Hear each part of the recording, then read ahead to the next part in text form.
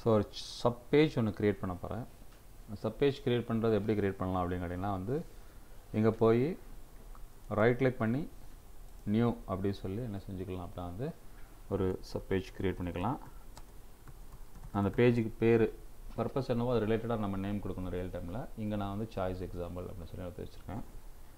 Then okay இங்கே ஒரு page create ஆகிடுச்சு பொதுவாகவே ஒரு பேஜ் க்ரியேட் பண்ணிங்கன்னா அந்த பேஜ்லேயும் அந்த இன்ஃபர்மேஷன் ஸ்டேஜ் ஒன்று இருக்கும்.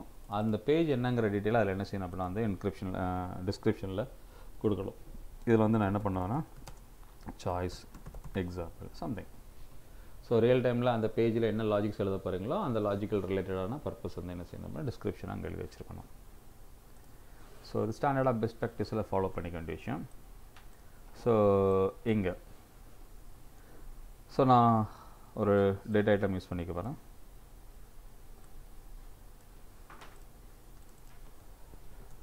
சும்மா ஒரு ஸ்டூடெண்ட்டோட டீட்டெயில் வச்சுக்கலாம். பர்சன்டேஜ் வேல்யூ ஆஃப் ஸ்டூடெண்ட் இங்கே as usual data type select பண்ணிக்கிடும் இப்போ நம்ம என்ன பர்சன்டேஜுங்கிறது நியூமெரிக் வேல்யூ அப்படிங்கிறனால வந்து என்ன செஞ்சுக்க போகிறோம் அப்படின்னா வந்து so numeric data items number data items select பண்ணிக்க போகிறோம் இப்போதைக்கு ஹார்ட் கோடாக ஒரு செவன்ட்டி ஃபைவ் அப்படின்னு சொல்லி சம்திங் அதோட வேலை வச்சுக்கலாம்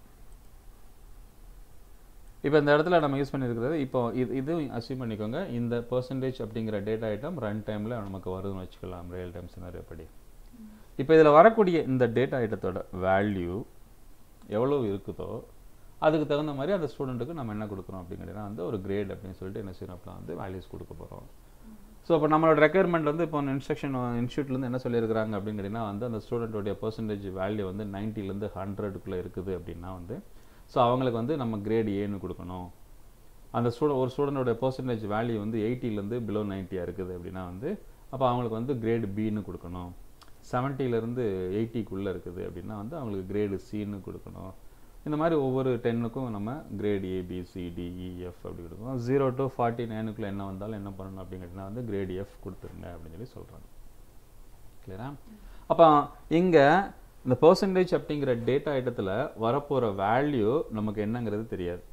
எந்த ரேஞ்சிலையும் இருக்கலாம். ஆனால் ஒவ்வொரு ரேஞ்சுக்கும் நமக்கு இங்கே என்ன இருக்குது? ஒவ்வொரு கிரேட் மாறுது. கரெக்டாக அப்போ மல்டிபிள் கண்டிஷன் இங்கே வருதா?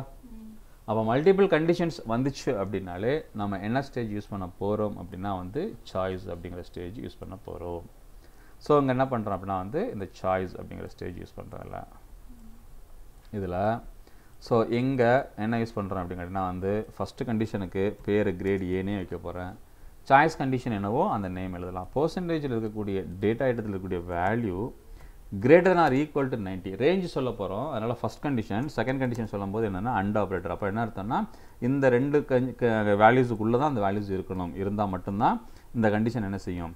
சாட்டிஸ்ஃபைட் பண்ணும். அப்போ percentage less than or equal to hundred so percentage greater or equal to ninety and percentage less than or equal to hundred அப்படி சொல்லியாச்சு அப்படின்னா வந்து இந்த ரேஞ்சுக்குள்ளே இருந்துச்சுன்னா ஃபஸ்ட் கண்டிஷன் சாட்டிஸ்ஃபைட் ஆகும்.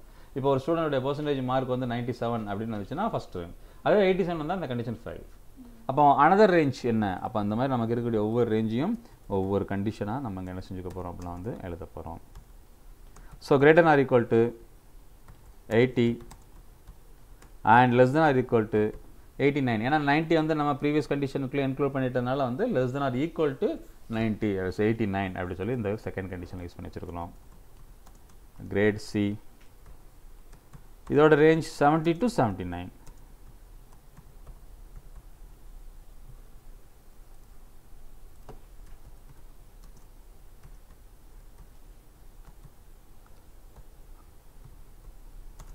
ஸோ கிரேடு டி ரேஞ்ச் வந்து sixty to sixty nine less than or equal to sixty to sixty nine so grade E greater than or equal to 50 less than or equal to 59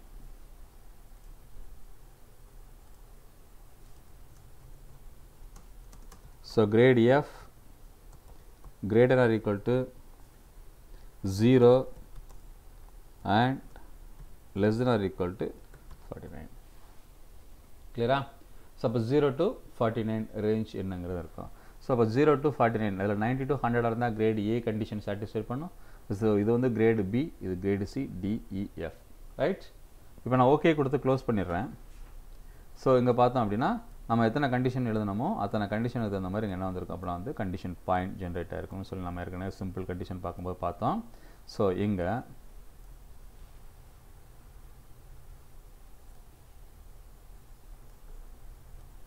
ஒவ்வொரு calculation ஸ்டேஜாக use பண்ணுறோம் ஏன்னா ஒவ்வொரு கண்டிஷனுக்கான expression எழுதணும் இல்லையா? அப்போ அதுக்கு ஒவ்வொரு கால்குலேஷன் ஸ்டேஜ் யூஸ் பண்ண போகிறோம் ஸோ எனக்கு அவுட்புட் என்ன வந்தால் போதும் அப்படின்னு கேட்டிங்கன்னா ஜஸ்ட் அப்படியே கிரேட் ஏனே வந்தாலே போதும். அதனால் வந்து யூஸ் பண்ணுறேன் இதை ஸ்டோர் பண்ணுறதுக்கு நான் ஒரு டேட்டா ஐட்டம் யூஸ் பண்ணுறேன் கிரேட் ரிசல்ட்டுங்கிற பேரில் ஒரு டேட்டா ஐட்டம் வேணும். அதை நம்ம இங்கே சொல்லி என்ன செஞ்சுக்கலாம் அப்படின்னா வந்து கிளிக் பண்ணிக்கலாம் சொன்னோம். இப்போ இதை கிளிக் பண்ணிடலாம்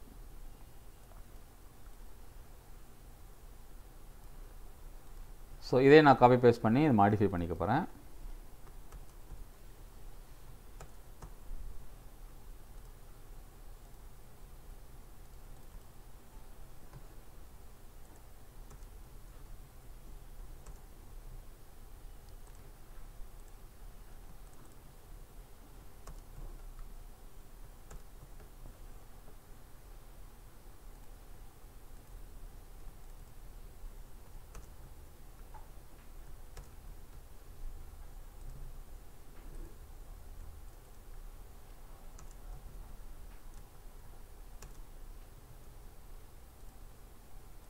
ஸோ இதில் எதுவுமே சாட்டிஸ்ஃபை பண்ணலாம் அதாவது பிலோ இன்வாலிட் பர்சன்டேஜ் வேல்யூவாக below zero or greater than hundred வந்துச்சுன்னா எனக்கு என்ன சொல்லணும்? அதை வந்து இன்வாலிட் இன்ஃபர்மேஷன் அப்படி சம்திங்கிறத என்ன செஞ்சணும்? அதில் பாஸ் பண்ணிக்கணும். இப்போ நான் அதில் வந்து நான் இன்வாலிட்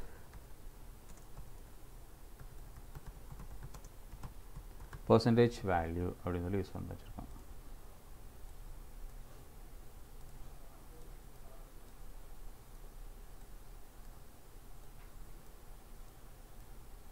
ஸோ ஒவ்வொரு கண்டிஷனையும் கனெக்ட் பண்ணுவோம்.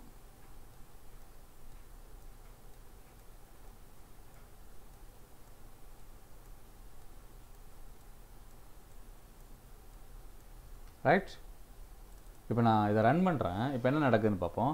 இப்போ ஆக்சுவலாக நம்மகிட்ட ரெண்டு பேஜ் இருக்குது ஒன்று மெயின் பேஜ்னு ஒன்று இருக்குது இன்னொரு லாஜிக்ஸ் என்ன பண்ணியிருக்கோம்? சாய்ஸ்னு சொல்லிட்டு ஒரு பேஜ் கிரியேட் பண்ணி சாய்ஸ் எக்ஸாம்பிளுங்கிற பேரில் ஒரு பேஜ் கிரியேட் பண்ணி இதில் லாஜிக் சொல்லியிருக்கோம். இப்போ நான் சாய்ஸ் எக்ஸாம்பிள் பேஜில் தான் இருக்கிறேன். இப்போ ரன் எக்ஸிக்யூட் பண்ணுறேன் ரன் கிளிக் பண்ண உடனே எங்கே நடக்குது எக்ஸிக்யூஷன் மெயின் பேஜ் நடக்குது இப்போ மெயின் இங்கே பாருங்கள் ஸ்டேட்டஸ் கம்ப்ளீட்டட் அப்படி சொல்லி மாறிடுச்சு. இப்போ எந்த ஒரு இதுவும் சொல்லி பார்த்தீங்கன்னா அதாவது எக்ஸிக்யூஷன் ப்ராசஸ் எக்ஸிக்யூஷன் பார்த்தீங்கன்னா எப்போவுமே எதில் தான் ஸ்டார்ட் ஆகும் அப்படி சொல்லி பார்த்தீங்கன்னா மெயின் ப்ராசஸ்லாம் என்ன செய்யணும்னா ஸ்டார்ட் ஆகும். மெயின் ப்ராசஸ்லாம் என்ன செய்யும்? வந்து கம்ப்ளீட் ஆகும். இது கிளியரா ஸோ இப்போ நான் இதை ரீசெட் அப்படின்னு சொல்லி கிளிக் பண்ணிடுறேன். இந்த ரீசெட் அப்படி சொல்லி கிளிக் பண்ணிவிட்டு ஸோ இங்கே இப்போ ஆக்சுவலாக எனக்கு இந்த பேஜ் ரன் ஆகணும் கரெக்டாக இந்த பேஜ் அப்போ இந்த பேஜை மட்டும் நான் ரன் பண்ணி பார்க்க முடியாதா அப்படின்னு கேட்டால் எஸ் ரன் பண்ணி பார்க்கலாம். இந்த பேஜை மட்டும் என்ன செய்யலாம் அப்படின்னா ரன் பண்ணி பார்க்கலாம். எப்படி பேசணும்னா ஆக்சுவலாக எனக்கு இங்கே ஸ்டார்ட் பண்ணி இங்கே முடியணும். இதுதான் என்னுடைய டெஸ்டிங் பர்பஸ்க்கான ஸ்டேஜஸ் அப்போ இந்த ஸ்டேஜில் ஸ்டார்ட் பண்ணணும் அப்படின்னா இந்த ஸ்டேஜில் ரைட் கிளிக் பண்ணி நீங்கள் என்ன பண்ணிக்கலாம்? செட் நெக்ஸ்ட் ஸ்டேஜ் இப்போ எந்த ஸ்டேஜ் வரைக்கும் எனக்கு ரன் ஆகணும் அப்படின்னா இந்த ஸ்டேஜ் வரைக்கும் எனக்கு என்ன செய்யணும் அப்படின்னு கேட்டால் வந்து ரன் ஆகணும். ஸோ அப்போ என்ன செய்யலாம் அப்படின்னு கேட்டால் வந்து ரைட் கிளிக் பண்ணி so run to the stage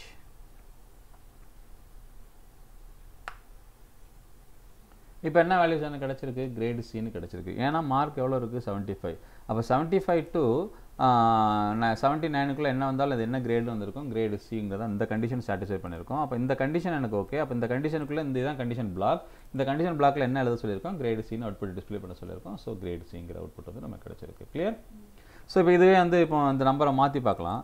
இந்த நம்பரை நான் என்ன பண்ணுறேன் அப்படின்னு கேட்டிங்கன்னா வந்து இப்போ பாருங்கள் இந்த இடத்துல கரண்ட் வேல்யூன்னு ஒன்று இருக்குது பாருங்கள் ஸோ இந்த இடத்துல இப்போ வேல்யூஸ் இருக்குது. ஸோ இதை நான் ரீசெட் பண்ணிடுறேன். ரீசெட் பண்ணிட்டு திரும்ப இந்த ப்ராப்பர்ட்டி உள்ள பார்க்குறேன். இது உள்ள பார்த்தீங்களா? அந்த கரண்ட் வேல்யூ அப்படிங்கிற செக்ஷனில் என்ன இருக்கும் அப்படின்னா வந்து ரன் டைமில் அந்த டேட்டா ஐட்டத்தோட வேல்யூ என்னவோ அந்த வேல்யூ இதில் டிஸ்பிளே இருக்கும். இப்போ ரன் பண்ணும்போது இந்த டேட்டா இடத்துல ஒரு ஃபைவ் ப்ளஸ் ஃபைவ் அப்படின்னு இருந்துச்சு. ஒரு லாஜிக்ஸ் எழுதி ஸ்டோர் பண்ணுறோன்னீங்களேன் அப்போ ரன் டைமில் அந்த வேல்யூ என்னவாக இருக்கும்? டிஃபால்ட் வேல்யூ என்னவாக இருக்கும் அப்படின்னா ஃபைவாக இருக்கும். பட் ரன் டைமில் அந்த வேல்யூ என்னவா இருக்கும் அப்படின்னா டென்னு வந்திருக்கலாம் ஸோ அப்போ ரன்னிங் டைமில் லாஜிக்ஸ் நம்ம மாற்றிருந்தோன்னா அப்போ ரன் பண்ணும்போது என்ன வேல்யூ இருக்கோ அதான் current value during run time அதில் என்ன வேல்யூ இருக்கோ அந்த டேட்டா இடத்துல அந்த வேல்யூ தான் என்ன செய்யுங்க? இருக்கும். இப்போ இந்த வேல்யூவை நான் என்ன பண்ணுறேன் அப்படின்னு கேட்டிங்கன்னா வந்து ஒரு தேர்ட்டி ஃபைவ்னு மாற்றிடுறேன் இப்போ தேர்ட்டி ஃபைவ்னு மாற்றிட்டு இப்போ இந்த பேஜ் மட்டும் தான் ரன் பண்ணணும். எனக்கு இந்த எக்ஸி ரன் இந்த ரன் பட்டன் எக்ஸிட் பண்ணிவிட்டோன்னா என்ன ஆகிடும் அப்படின்னா வந்து மெயின் பேஜில் ரன் ஆகும். ஸோ எனக்கு இந்த கரண்ட் பேஜ் மட்டும் ரன் ஆகணுங்கிறனால கரண்ட் பேஜில் எந்த ஸ்டேஜ் வேணுமோ அந்த ஸ்டேஜில் ரைட் கிளிக் பண்ணி செட் நெக்ஸ்ட் ஸ்டேஜ் சொல்லி இங்கே நான் என்ன பண்ணுறேன் அப்படின்னா வந்து ரன் டு தி ஸ்டேஜ் அப்படின்னு சொல்லி சொல்லியிருக்கேன் ஸோ இப்போ எனக்கு கிரேட் எஃப் ரைட்டா இப்போ திரும்ப ரீசெட் கிளிக் பண்ணிடுறேன். ரீசெட் கிளிக் பண்ணிவிட்டு இந்த ஒன் தேர்ட்டி ஃபைவை ஒன் தேர்ட்டி ஃபைவ் அப்படின்னு சொல்லி சொல்கிறேன் இந்த ஒன் தேர்ட்டி ஃபைவ் சொல்லும்போது இப்போ ரன் ரன் கரண்ட் ஸ்டேஜ் இதை செட் பண்ணி வச்சுட்டு ஸோ இதில் என்ன யூஸ் பண்ணுறேன் அப்படின்னா வந்து ரன் டு தி ஸ்டேஜ் அப்படின்னு எண்டில் கிளிக் பண்ணிட்டேன். எந்த கண்டிஷனுமே சாட்டிஸ்ஃபைட் ஆகலை. உடனே எங்கே போயிடுது அப்படின்னு அதர்வைஸ் இப்போ இதான் எல்ஸ் பிளாக்கு இதுக்கு இப்போ ப்ரோக்ராமேட்டிக்காக சொல்கிறாங்க இது இஃப் இது எல்ஸ் இது எல்ஸ் இது எல்ஸ் இது எல்ஸ் இது எல்ஸ் இது எல்ஸ் ரைட் அப்போ சாய்ஸ் அப்படிங்கிற ஸ்டேஜ் நம்ம எப்போ யூஸ் பண்ணணும் அப்படின்னு சொல்லி பார்த்தீங்கன்னா நம்மளோட லாஜிக்ஸில் மல்டிபிள் கண்டிஷன்ஸ் அப்ளை பண்ணுற சினாரியோஸ் ஏதாச்சும் வந்துச்சு அப்படின்னா அப்போ நம்ம கண்டிப்பாக என்ன யூஸ் பண்ணணும் அப்படிங்கிறதுனா வந்து சாய்ஸ் அப்படிங்கிற ஸ்டேஜ் வந்து என்ன செய்யணும் அப்படின்னா வந்து யூஸ் பண்ணி வச்சுருக்கணும். ரைட்